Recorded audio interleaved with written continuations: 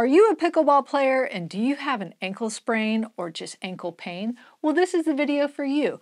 Remy and I are going to show you some stretches and exercises to feel better. So let's get started. So before we get started, you're going to need a couple pieces of equipment.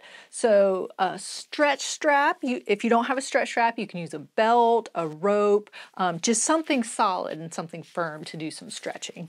And then also a resistive band. If you don't have a resistive band, that's okay. You can do the exercises without it, but ideally if you can get one, uh, it'll be very helpful in the strengthening part. And then also just either like a little foam roll like this, or you can just roll up a towel and that's just going to be to kind of lift your heel up off of um, either the bed or the couch or the floor to give you a little bit more movement in your ankle. So if you don't have those yet, pause real quick and go grab those and then we'll get going. So we're going to start off with just a simple calf stretch. And again, if you don't have something like a stretch strap or a rope or a belt, you can do some other calf stretches standing up. And I've got some videos for those as well. But just real simply, if this was my ankle that had um, the pain in it, or if I actually had a little bit of a sprain, um, you really want to just do gentle stretches just to kind of lengthen the muscle. Uh, you don't want to push so hard where you're irritating it more, or if there's some little tears in there. You just want to get it nice and stretched. And that's because you don't want it to scar up in a shortened position. So just taking the strap, if you've got a, a little loop, that works well, and put it at about the ball of your foot. You don't want it up on your toes because it might slip off, and you don't want it down around your arch because then you're not going to get a good stretch all you're doing is using the stretch strap or the belt to pull. So you're not actively moving it, you're pulling the strap to get a nice stretch in that calf area. So I'm feeling that underneath, feeling a little bit in my knee because those calf muscles go all the way up and cross the knee. So that's fine as well. And you might feel it down at the ankle. This is a full stretch, so it's going to be 30 seconds holding it. Again, you want it to be a little uncomfortable. You want to feel the tension, but you don't want any pain in there.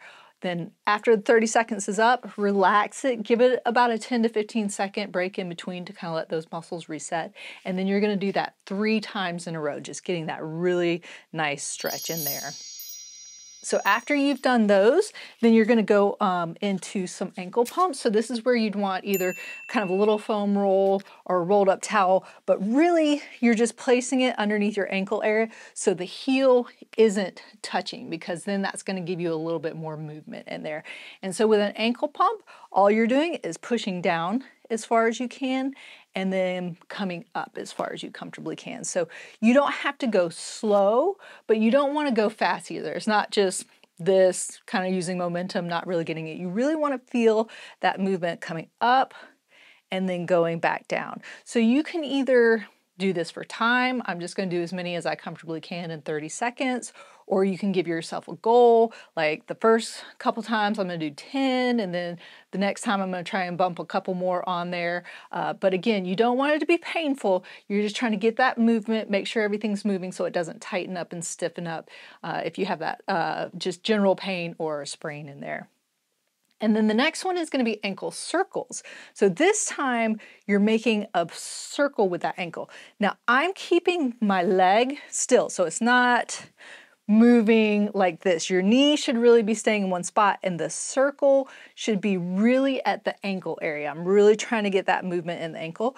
You can go uh, clockwise and you can go counterclockwise. Same thing if you want to do it for time, you can and then kind of build up in that time period or you can just do a set amount of reps with that.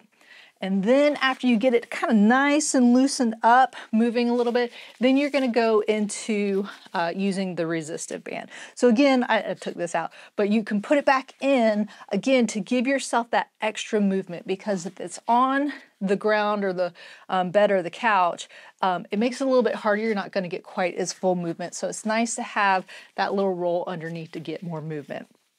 If you got your resistive band, having a loop on the end is really nice because again, you can just place it around the ball of your foot. Now, be careful with resistive bands because if it's too high, it might slip off. So make sure it's in a good, comfortable spot where it doesn't feel like it's gonna um, slip off and come back and hit you. Same thing, you're just doing a nice controlled pushing down and then control the band coming back up. That's the big piece. So it's not going down and then just popping it back up. You really want to make sure you're controlling the whole movement with the band and don't let the band control you. Um, same thing, you can do it for time and say, I want to do five and 30 seconds, and then the next time I do it, I want to do six, and then want to do seven. So keep trying to progress it as long as it's not causing any increased pain or soreness or anything like that. Then you're going to go into going outwards into eversion. And the way to do that, if you don't have someone just to hold the band for you, is make a little turn here so the knot's on the inside and then wrap it around the other foot. And so this time I'm just going to turn out. So same thing, you, your, your knee might move a little bit, but it's not a rolling. It's not a rotation at your hip up here. It's really trying to get that movement at the ankle where I'm pulling it out and then coming all the way back in. So out nice and slow and then in like that. So same thing, doing it for time or doing it for reps but make sure that you're not overdoing it. Less is more to start off with because it might not be painful while you're doing it, but it might get really sore later. So I always say start off with a little bit and then you can progress after that. So then the next one is going to be doing the inversion going in. So what I'm going to do here is I'm just going to cross it over. The knot's now going to be on the outside of the foot, and then I'm going to wrap it around the foot here. So I'm just kind of crossover. So same thing. Now I'm pulling, so it's going technically inwards if I was on the other side, and then nice and slow coming back out. But again, trying to get all that movement at the ankle and the leg is pretty much staying in one spot. So pulling in and then nice and slow coming back. So now for the pulling up or the dorsiflexion, Ideally, it makes it a little bit easier if someone holds it for you, but you can take your other foot and just kind of push down. And now I'm just pulling up and then slowly coming back down. Now my knee comes up just a little bit because I'm trying to hold it there. You can wrap it around something solid like a table leg or like I said, just have somebody hold it for you there. But you can, you can kind of do it this way where I'm pointing with the other one and then I'm pulling up and then nice and slow coming down. So that's getting that four-way ankle in all directions. Make sure you're starting off with the lightest band, especially if you get a pack where there's a whole bunch of them. Start off with the lightest one because again, it might be a little uncomfortable. And again, if you don't have any resistive bands, you can do those motions without the resistive band and you're still gonna get some benefit from it. So now we're gonna stand up. So this is just gonna be a simple single leg stance or single leg balance.